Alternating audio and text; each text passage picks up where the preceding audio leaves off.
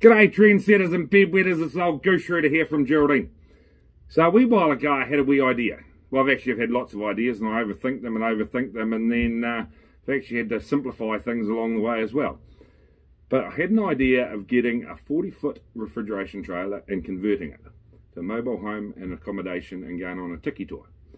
But you know, when you look at things realistically, it's like it's going to cost a lot of money and both to buy the trailer and to kit it out and then it takes time. So with the help of a really great mate, I've got my hands on a caravan. So going to do my tiki tour, talk about life, mental health, depression and that sort of thing.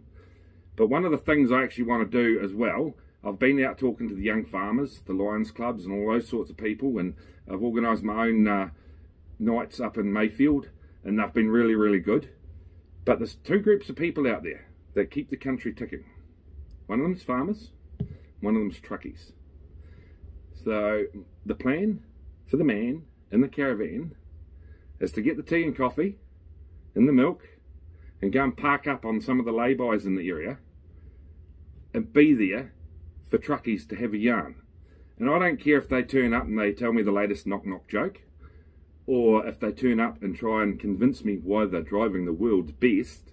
It's like good luck to them or if someone actually turns up, wants a coffee, but needs to have a talk. And just, you know, could be just a shit talk, could be a bit of a talk about life, and just a bit of reassurance that there is light at the end of the tunnel. So that's my plan. So hopefully I'll get that kicked off in the next couple of weeks. So I've been talking to some uh, people, and we're going to have uh, like monthly giveaways and that sort of thing. Uh, and my mate Angus, at Tiny Towing Solutions. He's hooked us up with a big Kenworth uh, the bench top to be raffled off to uh, yeah, a bit of fundraising money to help me with this venture. And I've had other people come out of the woodwork that are getting behind me with support, ideas, bit of funding and that sort of thing. So that's really, really good to see because everyone understands that life can get tough and they want to be out there and help me support the truckies and the farmers and that sort of thing. And it is, you know, quite uh, humbling the messages I get from people saying, oh shit, we've just watched your video you know, about life and you know, that's made a lot of sense. That's you know, helped me put life in perspective. So that's what I want to do. There's, I've, I've said it now, a couple of videos, it's like, you know, truckies and farmers and you know, those sort of people will go get in their truck or their tractor in the morning and their problems are the size of a teaspoon. But they overthink things. And by the end of the day, those same problems are the other size of a digger bucket. And sometimes it's just a wee bit of reassurance that it's okay to not be okay. It will be okay in the end. And if it's not okay, it's not the end. So that is my grand plan for the caravan. So I'm going to get that kicked off in the next week, hopefully. Uh, I'm going to go park up at uh, the lay-by between the two Rangitata bridges, have the tea and the coffee on, talk to the truckies about life, and you know, if they want to try and convince me that we're driving the world's best, go for gold.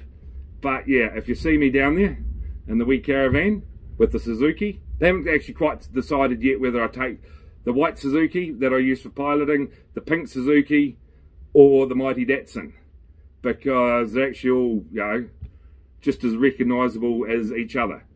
But that is the plan.